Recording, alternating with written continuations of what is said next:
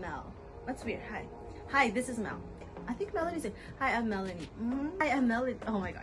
Okay. Hi, I'm Hi, I'm Mel. I'm certified athletic therapist. And I became an athletic therapist because it's like Miss Universe.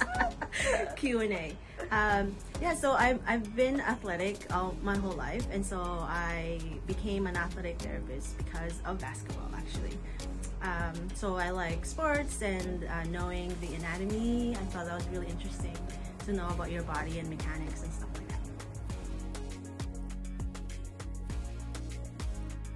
So the athletes I've worked with um, were like volleyball, basketball players. I've actually worked with a national team play, uh, um, athletes or national Canada national team um, for their practices here in Winnipeg uh, years ago. I've worked with football uh, players, um, high school, uh, rugby, also a dog agility handler.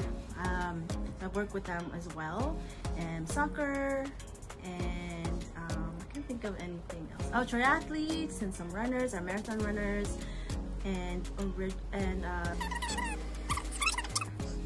regular active no active people, active adults. Oh my god.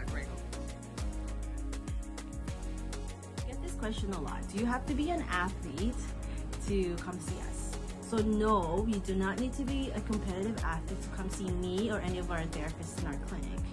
Um, if you are a person that's moving a lot, you are considered an athlete because your human anatomy, your body is the exact same thing as, like I say, a competitive athlete. For example, we do treat people that get hurt from a workplace uh, or in a motor vehicle accident.